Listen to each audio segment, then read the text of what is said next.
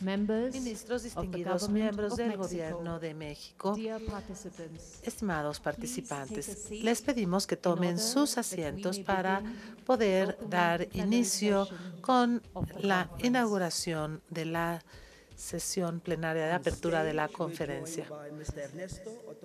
Están con nosotros en el podio el señor Ernesto Otón Ramírez, quien es el director general asistente para cultura de UNESCO y también el director de la Oficina de Estándares y de UNESCO.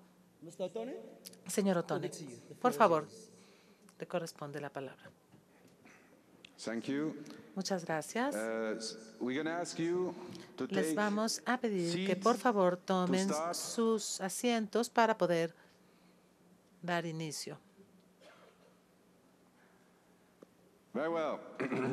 Muy bien. Sus excelencias, ministros, viceministros, jefes de delegación, embajadores, embajadoras, representantes de las ONGs, de las Naciones uh, Unidas, señores funcionarios, damas y caballeros, eh, estimados participantes en la Conferencia Mundial de la UNESCO sobre Políticas eh, Culturales y Desarrollo Sostenible Mundial 2022. Espero que hayan tenido un buen viaje y que ya hayan encontrado sus asientos. Y quisiera darles la bienvenida en esta en esta sede del Auditorio Nacional para eh, comenzar con un pequeño anuncio respecto a la interpretación, a interpretación simultánea en los seis idiomas oficiales de la UNESCO, inglés, francés, español, árabe, chino y ruso, así como en náhuatl.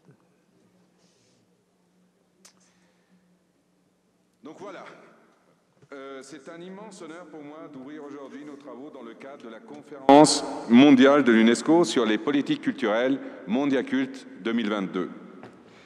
Comme l'a souligné la directrice générale de l'UNESCO ce matin dans son discours d'ouverture, le moment est pour nous historique. 24 ans après la dernière conférence intergouvernementale sur la culture, nous voici à nouveau réunis dans cette ville de Mexico qui déjà en esta Ciudad de México que ya nos había reunido hace 40 años. Nos hemos reunido para hablar de la cultura, de su papel esencial en nuestras sociedades y para evocar juntos el porvenir de nuestras políticas culturales y sobre todo el porvenir. Ciertamente el mundo cambió en, durante estos últimos decenios. La crisis climática, las desigualdades sociales y económicas, la recrudescencia de los conflictos, los desastres naturales, como los de los últimos tiempos, tantos desafíos que nos llevan a un mundo más dividido, más incierto. Y es por eso que, más que nunca, la aspiración a una justicia social el imperativo de privilegiar lo humano y lo vivo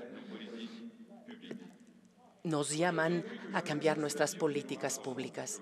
El día de hoy, más que nunca, la cultura nos reúne.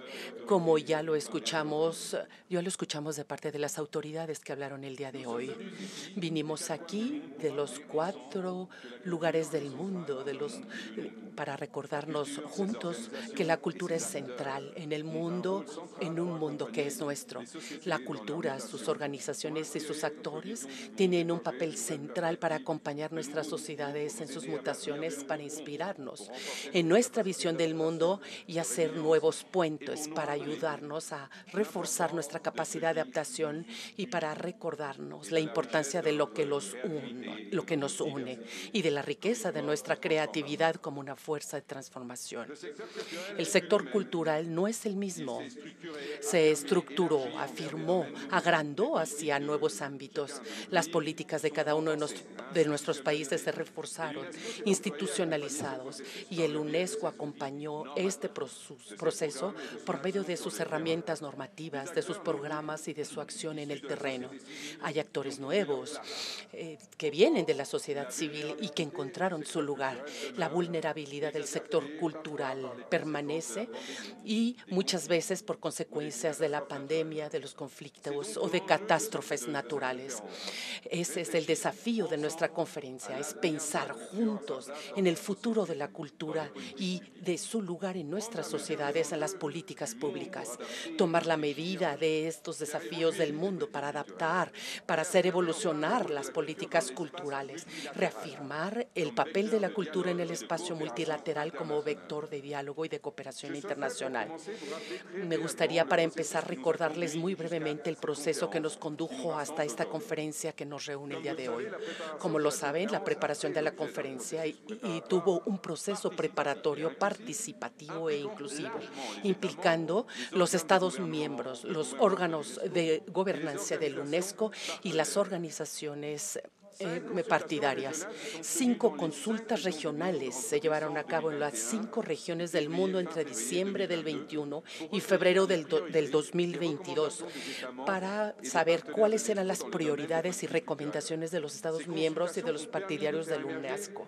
Y estas consultas, estas consultas permitieron de hacer emerger los ámbitos de preocupación de los países para los años futuros y esto y obviamente tomando en cuenta la gran diversidad de, acuerdo de las regiones del mundo. Teniendo en cuenta la, agenda cargada y copada que nos espera en el día de hoy, propongo que procedamos a la adopción del reglamento interior de la conferencia.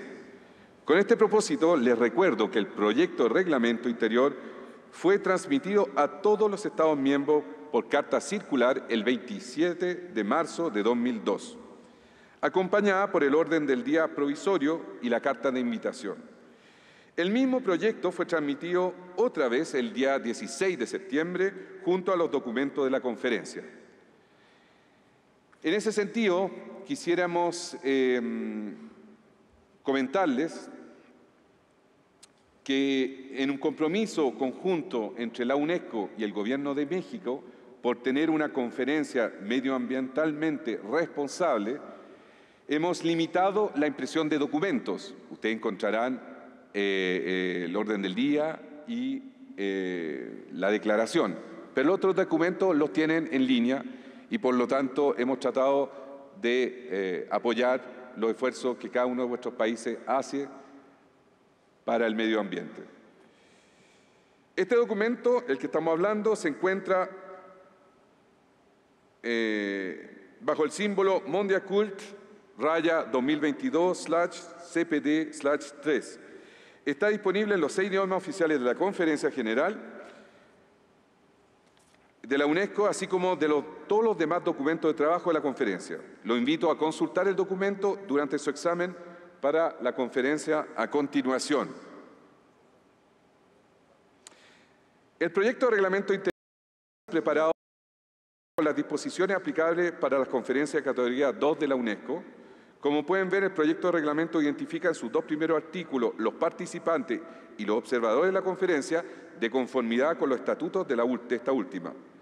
Como saben, los participantes son los representantes de los Estados miembros y miembros asociados de la organización. Eh, los observadores incluyen a los Estados no miembros, las agencias de Naciones Unidas, las organizaciones intergubernamentales y no gubernamentales, así como las demás entidades que identifica la lista de participantes contenida en el documento 212 EX raya 5.1.c y punto C, perdone, que aprobó el Consejo Ejecutivo de la UNESCO el año pasado.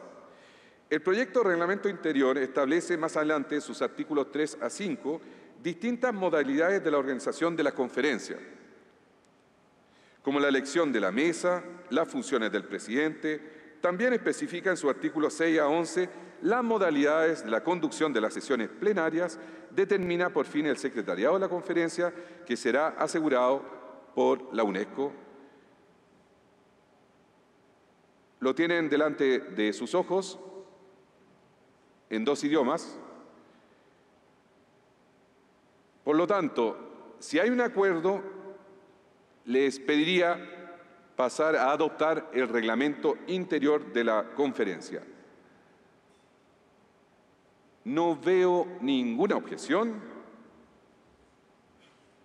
Por lo tanto, queda adoptado el reglamento interior de la conferencia. Aprobado. Habiendo... Estamos tímidos todavía, ya viene la parte buena. Habiendo adoptado el reglamento interior, lo invito a pasar al segundo punto del orden del día que concierne la elección de la mesa de la conferencia, constituida por su presidente, cuatro vicepresidentes y un relator. De conformidad con lo que prevé el reglamento interior que acabamos de adoptar, lo invito a proceder en un primer momento con la elección de la presidencia. El secretariado ha recibido la proposición de candidatura al puesto de presidente de la conferencia por parte de la presidencia del Grupo 3 como país anfitrión se trata de la candidatura de la excelentísima, nuestra querida amiga Alejandra Frausto Guerrero, secretaria de Cultura del Gobierno de México. Si no hay objeciones, quisiera invitarlos a aceptar esta propuesta y elegir a su excelencia Alejandra Frausto Guerrero como presidenta de la conferencia. No veo objeciones. Adoptado. Pasaremos entonces a la elección de los cuatro vicepresidentes y del relator de la conferencia, tal como lo prevé el reglamento interior que, acabamos de adoptar. Quisiera recordarles que según las prácticas establecidas, la presidencia de cada uno de los grupos electorales de la UNESCO ha sido invitada a llevar a cabo consultas entre los Estados miembros de su grupo con el fin de designar al país que lo representará en la mesa de la conferencia. El secretariado ha sido informado de que las candidaturas siguientes han sido propuestas para asumir las funciones de vicepresidentes. Y paso a leer. Para el grupo 1, que corresponde a los estados de Europa Occidental y otros estados, el excelentísimo señor Miquel Iseta y Llorens, ministro de Cultura y de los Deportes de España. Voy a hacer todo listado, si les parece. Para el grupo 2, que corresponde a los estados de Europa Oriental, a la excelentísima señora Nina Obujen Korcinek, ministra de Cultura y Comunicación de Croacia. Para el grupo 5A, que corresponde a los estados de África, la excelentísima señora Faustina Namutereña, viceministra de Educación de las Artes y la Cultura de Namibia. Para el grupo 5B, que corresponde a los estados árabes, Su Alteza Real, el príncipe Badr bin Abdullah bin Mohammed bin Fahad al Saud, ministro de Cultura de Arabia Saudita. Por otra parte, para la posición de relator, el secretariado ha sido informado de que el Grupo 4, que corresponde a los estados de Asia y del Pacífico, propone la candidatura del excelentísimo señor Hilmar Farid, viceministro de Cultura del Ministerio de Educación, Cultura, Investigación y de Tecnología de Indonesia. Con su acuerdo, y no tengo duda de que no habrá objeciones al respecto, quisiera invitarlo a elegir a los vicepresidentes y al relator propuesto por los distintos grupos, constituyendo así la mesa de la conferencia para nuestros trabajos. No veo objeciones. Adoptados. Felicitaciones. De esta manera, la conferencia elegido a los miembros de su mesa. Lo invito aplaudir nuevamente a los elegidos y quisiéramos pedirle a su excelentísima señora ministra Alejandra Frausto, espero que esté en la sala, no logro ver dónde está, ya está, perfecto, eh, para que junto a los vicepresidentes de cada una de las regiones eh, recién elegidos y el relator pasen por favor a tomar eh, sus posiciones en el escenario. Muchas gracias.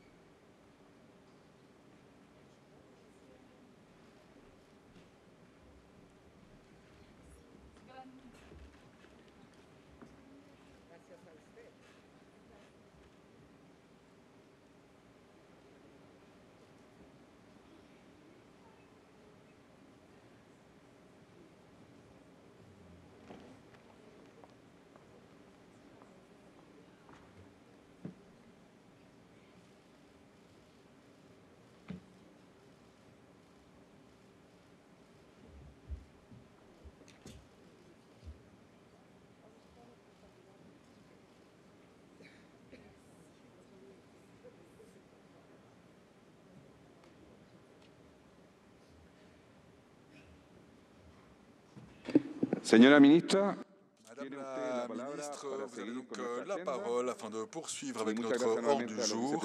Por acompañarnos y al relator en esta mesa. Muchas gracias. Muchísimas gracias, querido subdirector general, por esta conformación de la mesa. Gracias, gracias a todos. Eh, con ello quiero agradecer sinceramente, ministras, ministros y participantes, el honor de presidir esta reunión en nombre de México como país anfitrión eh, de esta histórica conferencia. La confianza que han depositado en mí no la defraudaré. Gracias. Soy consciente de la responsabilidad que tengo como presidente de esta conferencia. Quiero asegurarles que haré todo lo que esté en mis manos para llevar a cabo la tarea que me han encomendado en aras del diálogo y el consenso en todo momento. Sepan que estaré a su entera disposición durante los trabajos de esta conferencia para que se desarrolle en las mejores condiciones posibles. Una vez más, quiero darles la más cordial bienvenida a nuestra Ciudad de México, capital del país, y al Auditorio Nacional que hoy nos acoge. Agradecerle que hayan, que hayan venido, agradecerles a todos que hayan venido hasta aquí desde sus respectivos países. Tras estos dos años de pandemia, todos somos conscientes de la importancia de estar presentes, de reunirse, de intercambiar, para alimentar el espíritu de solidaridad, apertura y diálogo que debe estar en el corazón de la cooperación internacional. 40 años después de la primera conferencia Mondiacult, México se complace especialmente en recibir de nuevo a la comunidad internacional para debatir sobre políticas culturales. Esto es un testimonio del compromiso de la larga data de mi país con la cultura y con la preservación de la diversidad cultural, que es parte de la historia de México y sus comunidades. Hoy más que nunca es nuestra responsabilidad volver a situar a la cultura en el centro del debate multilateral. Nosotros, los ministros de Cultura de los Estados miembros de la UNESCO, necesitamos espacios frecuentes, no cada 40 años, de diálogo para intercambiar opiniones sobre nuestras respectivas políticas. La cultura es un medio fundamental para construir este diálogo inclusivo. Debemos reflexionar en profundidad sobre los retos del mundo, del mundo contemporáneo, la adaptación a la transformación digital, el fortalecimiento de los derechos culturales y la promoción de la cultura para la acción climática. Son apenas solo algunos de estos retos. Hoy más que nunca es la cultura lo que nos reúne en esta sala la diversidad cultural de nuestros países y comunidades, una diversidad cultural que hemos venido a proteger y a promover. La profunda convicción del papel de la cultura en el futuro de nuestros pueblos y la aspiración que todos compartimos de construir un mundo más justo y sostenible para las generaciones venideras guiará nuestro trabajo durante los próximos tres días. Como nuestra mesa ya ha sido constituida, les invito a pasar al siguiente punto relativo a la aprobación del orden del día de la reunión que tienen en sus documentos. Quiero recordarles que el orden del día provisional fue transmitido a todos los Estados miembros el 27 de marzo de 2022 mediante una carta circular. Posteriormente se retransmitió el pasado 19 de septiembre junto con todos los documentos de la conferencia. Este documento es uno de los seis documentos de trabajo, los cuales mencionó Ernesto Tone, estos documentos de trabajo de la conferencia con referencia Mondiacult 2022-3. Está disponible en las seis lenguas oficiales de la UNESCO. Les invito a tener el documento ante ustedes para su consideración. Este orden del día ha sido eh, propuesto y preparado por el Secretariado de la UNESCO de acuerdo con las prácticas vigentes para las conferencias de categoría 2 de la UNESCO. Como verán, el proyecto de orden del día proporciona un marco para nuestras dos reuniones plenarias previstas para hoy y el 30 de septiembre respectivamente. ¿Existe alguna objeción para adoptar el orden del día? No veo ninguna objeción, por lo tanto, adoptamos el orden del día de conformidad. Ahora podemos pasar sin más dilación al siguiente punto relativo a la presentación de los objetivos de la conferencia y los documentos de trabajo. A tal efecto, me complace ceder la palabra al señor subdirector general para la cultura, Ernesto Otone. Tiene usted la palabra, subdirector. Muchas gracias, ministra, presidenta. Eh, voy a cambiar al francés, lo siento. Permítanme ahora presentar brevemente los objetivos de la conferencia, así como los cinco documentos de trabajo. Los objetivos de esta conferencia figuran en los documentos de referencia que llevan el código siguiente, Mondiacult-2022 God? Donc guion CPD guion 4, la Conferencia Mundial sobre Políticas Culturales y sobre Desarrollo Sostenible tiene como objetivo de relanzar la reflexión sobre temas esenciales para el futuro del sector cultural con el fin de asegurar su prosperidad y su resiliencia al fomentar una dinámica consolidada de anclaje de la cultura en uh, la implementación del desarrollo sostenible. Más específicamente, se trata de estimular la reflexión mundial sobre cultura en calidad de bien público mundial considerando los desafíos que nos, que nos, imponen en materia de protección del patrimonio, de diversidad cultural, de inclusión social y de protección de los derechos fundamentales. Apoyar la adaptación de las políticas culturales en el sector cultural mismo para mejor adaptarlo a enfrentar los, los desafíos del desarrollo sostenible, en particular la transformación digital y la acción climática. También se tratará de hacer avanzar las prioridades estratégicas de los países relativas a las políticas culturales, entre otros, mediante la consolidación de los mecanismos de, ayuda pública, sistemas de financiación de los marcos reglamentarios, incluyendo las herramientas normativas en el campo cultural, la adaptación a la transformación digital, la inversión en la formación profesional y el empleo de carácter cultural o también la promoción de un acercamiento de un enfoque global en materia cultural, rebasando así la fragmentación tradicional de ese sector. Se tratará también de reforzar el papel de la cultura en la construcción de la paz, aprovechando la cultura en su calidad de recurso dinámico a favor de la inclusión mediante la diplomacia cultural y la lucha contra el tráfico ilícito de bienes culturales. Se trata también de federar las plataformas de cooperación internacional bajo los auspicios de la UNESCO para tratar cuestiones emergentes esenciales como la protección sostenible del, del patrimonio cultural, la lucha contra el tráfico ilícito, el desarrollo de la economía creativa, la transición digital y la regulación del ciberespacio la relación entre cultura y educación o cómo medir la contribución cultural de la cultura al desarrollo sostenible. Esperamos que esta conferencia nos permitirá, por un lado, establecer una hoja de ruta que reflejará las principales prioridades identificadas por los Estados miembros en materia de política cultural, lo cual permitirá orientar las acciones y el apoyo de la UNESCO en los años venideros. Por otra parte, esa conferencia buscará anclar la cultura en la agenda mundial de política públicas para dar lo que hemos mencionado seguido, es decir, un nuevo impulso al diálogo multilateral mediante la implementación bajo los auspicios de la UNESCO, una plataforma de diálogo regular entre ministros de culturas acerca de las tendencias del sector cultural, así como los desafíos y oportunidades de este sector. Nuestra conferencia se va a estructurar alrededor de dos sesiones plenarias que la presidenta ya mencionó al principio y la eh, plenaria de clausura, las cuales se acompañarán de sesiones ministeriales y otras, otros eventos implicando euh, diferentes actores culturales que empieza en el euh, complejo de los, Pinos en algunas horas más tarde.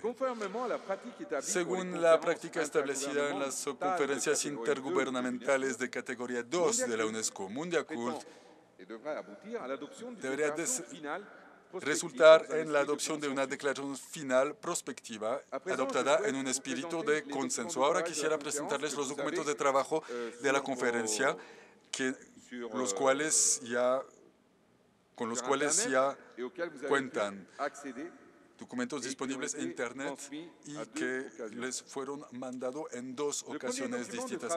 Primer documento de trabajo, no sé si lo podemos ver en pantalla, por favor.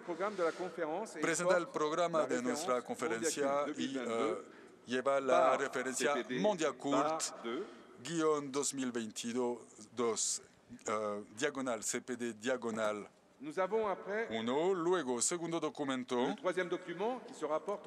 tercer documento relativo al reglamento interior de la conferencia Mondiacult 2022, diagonal CPD diagonal 3, cuarto documento, un documento de referencia elaborado para lanzar el proceso de consulta regional, al cual el cual les fue mandado varias veces.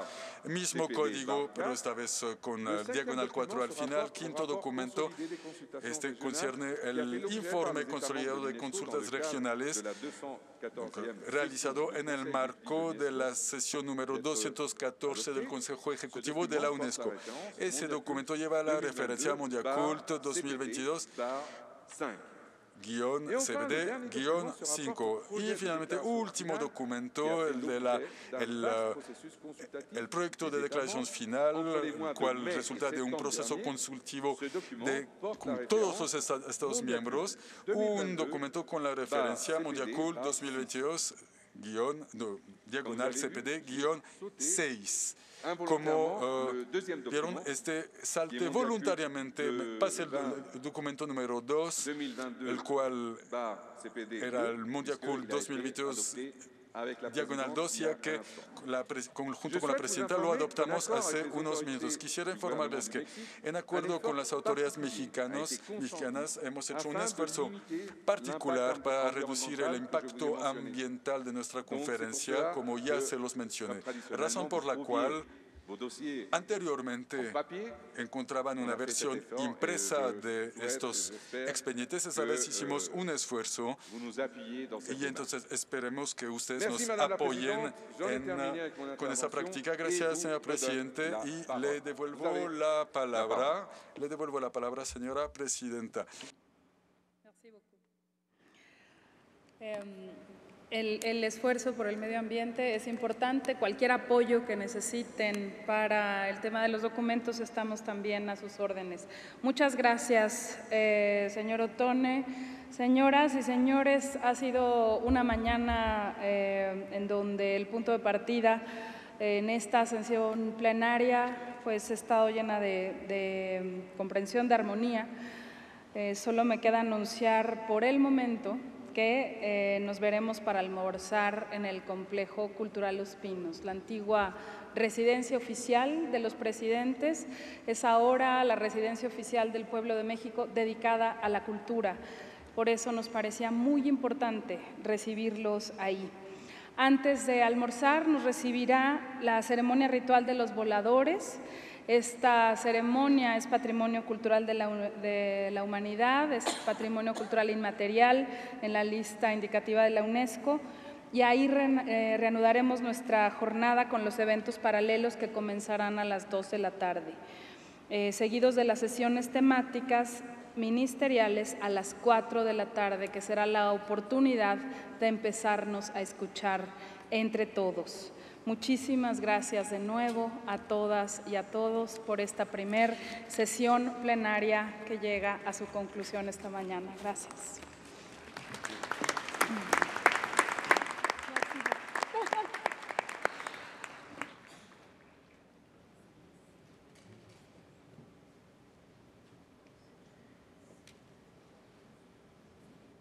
El, el traslado a Los Pinos está organizado con con sus delegaciones, con los autobuses. Es muy cerca de aquí, eh, no va a ser un traslado grande en esta inmensa ciudad. Eh, buscamos que todos los traslados puedan transmitir a ustedes este acontecimiento histórico. Muchas veces hablamos de encuentros históricos, pero en este caso podemos pensar que es la mayor reunión, reunión de ministros y ministras de cultura que se haya hecho jamás.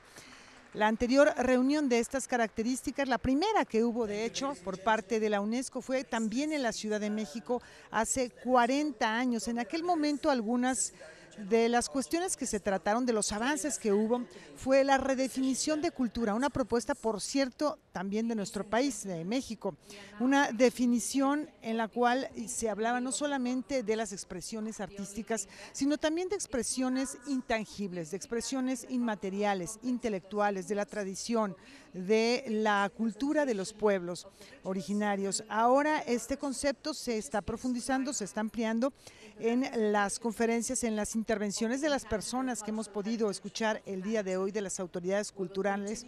Hemos eh, vislumbrado también algunos aspectos que seguramente están en la declaración final o estarán en ella, en los acuerdos conjuntos que se lleven a cabo en las naciones que participan, que forman parte de la UNESCO y que están aquí presentes. Ya tienen los documentos desde que se llevaron a cabo las reuniones regionales que mencioné al principio de esta transmisión en diferentes partes del mundo, muchas de ellas, por cierto, de manera eh, virtual, de manera en línea, eh, debido a las condiciones de la pandemia. Bueno, ahora eh, lo que va a ocurrir es que, como me parece que ya deben haber escuchado, habrá una reunión en el, complejo cultural Los Pinos, la residencia oficial del pueblo de México a la que están invitados todos los ministros, ministras participantes, autoridades culturales de este encuentro multinacional, de este encuentro global, eh, del cual les estaremos dando cuenta. En Noticias 22 a las 8 de la noche tendremos entrevistas, eh, platicaremos mucho acerca de los detalles que se vayan eh, llevando a cabo, desarrollando, que vayan surgiendo estos acuerdos, de los cuales ya escuchamos algunos datos interesantes, por ejemplo, la vulnerabilidad del sector cultural, es algo que se dio muy claramente durante la pandemia, también la resiliencia y la capacidad capacidad de la cultura para unirnos en momentos difíciles. Bueno, de esto va este encuentro y de situaciones muy prácticas como por ejemplo el trabajo, la capacidad de empleo que eh, aporta el sector cultural, el tráfico ilícito de bienes culturales, eh, el plagio, que también es un problema importante que se discutirá en estas reuniones, en estas sesiones plenarias. Las conclusiones se presentarán el viernes próximo. Ahí estará Canal 22 dándoles todos los detalles. Y bueno, nos vemos en Noticias 22 hoy a las 8 de la noche. Muchas gracias por su compañía en esta transmisión en vivo desde el Auditorio Nacional. En nombre de todos mis compañeros de Canal 22, hasta pronto.